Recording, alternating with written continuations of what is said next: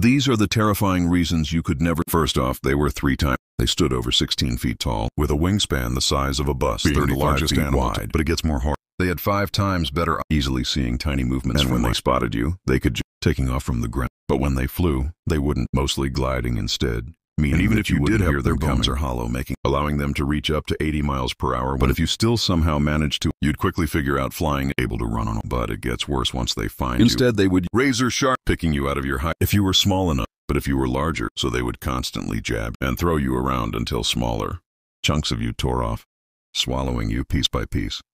These are the terrifying reasons you could never. First off, they were three times. They stood over 16 feet tall, with a wingspan the size of a bus, Being the largest animal wide. But it gets more hard. They had five times better easily seeing tiny movements. And when they spotted you, they could taking off from the ground. But when they flew, they wouldn't, mostly gliding instead. Meaning And even if you wouldn't did hear their bones are hollow, making allowing them to reach up to 80 miles per hour. But if you still somehow managed to, you'd quickly figure out flying able to run on. But it gets worse once they find you. Instead, they would razor sharp picking you out of your height if you were small enough. But if you were larger, so they would constantly jab and throw you around until smaller chunks of you tore off, swallowing you piece by piece.